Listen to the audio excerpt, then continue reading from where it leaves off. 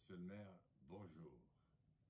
Mesdames et messieurs les maires de France, je vous souhaite une très bonne année, avec tout ce qu'il faut pour la réussir, parce que vos responsabilités sont importantes et que je les connais pour avoir eu la chance euh, de les exercer et de les porter pendant plusieurs années.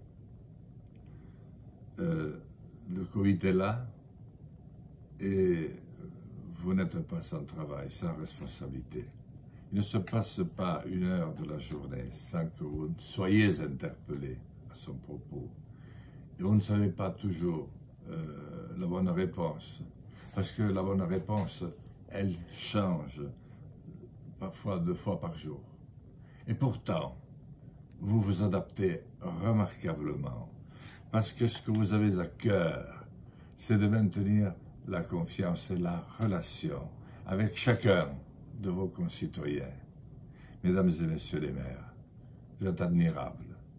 C'est le mandat le plus difficile de tous les mandats. Celui où il faut rassembler une commune, la faire travailler ensemble. sa population, son territoire, qu'on a de plus en plus tendance à séparer, alors qu'ils ne forment qu'un seul et même ensemble. Vous avez à faire face à tous les défis, celui de l'enfance, parfois difficile, celui de l'école, qui n'est pas plus simple, et vous avez euh, les écoles du premier cycle. Vous devez faire face à ceux qui souffrent. Nous avons 10 millions de pauvres dans notre pays. Il y a des millions de chômeurs. Et c'est vous qui les voyez, ce quotidien. Vous avez à trouver une solution à tout ce qui n'en a pas. Vous devez réconcilier Pierre-Paul pour ne pas qu'il fasse un procès à Juliette. Vous devez faire en sorte que le lotissement qui se vide euh, retrouve de nouveaux venus. Vous êtes le cœur battant de la patrie. C'est autour des communes que s'est construite notre belle et magnifique France. C'est grâce à vous, les maires, et un peu peut-être aussi aux paysans de France, que notre pays est resté la première destination touristique du monde. Parce qu'ici, et chez nous, on ne fait pas semblant de vivre. On vit au quotidien, dans une vraie vie, qui n'est pas toujours rigolote.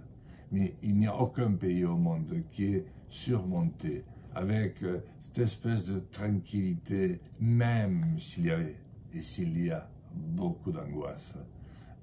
C'est de terribles années.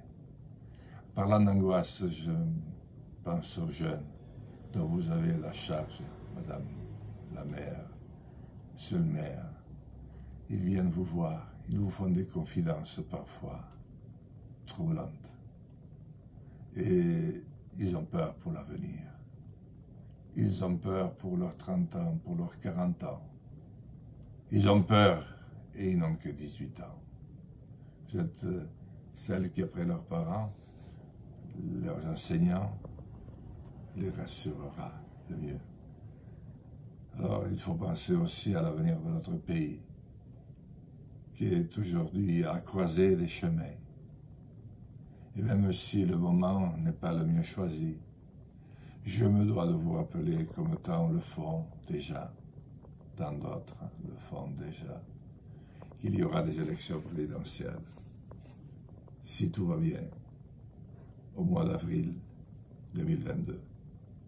J'ai déjà indiqué ma volonté d'être candidat porté par le mouvement que nous avons érigé ensemble, résistant, mouvement de résistance, pour faire pièce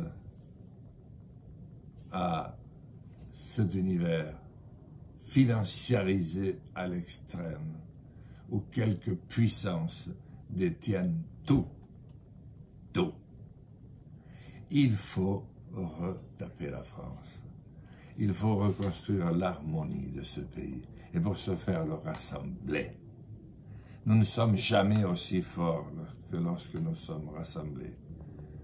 Voyez, je vous parle depuis maintenant trois minutes et je ne crois pas avoir dit du mal d'aucun d'entre nous. Rassemblons-nous. J'ai besoin pour cela de votre parrainage. Et le parrainage ne signifie pas l'appui le vote pour moi. Vous pouvez appuyer voter quelqu'un d'autre totalement différent. Le parrainage, c'est le summum de la démocratie tel qu'il a pu être inventé. C'est donner la chance à une idée, portée par un homme, par une femme, à un projet, de le faire valoir, de le défendre, et de le soumettre à votre réflexion et à vos suffrages. Si vous me faites confiance une deuxième fois par vos parrainages, j'essaierai d'être à la hauteur de la situation et de me faire entendre. Et de faire entendre tout ce que vous avez sur le cœur. Parce que je crois que je le lis et je le comprends, comme je lis votre regard bienveillant chaque fois que je le rencontre au coin d'une rue ou à votre hôtel de ville ou votre petite mairie de quartier ou de village reculé. Bravo, mesdames et messieurs les maires.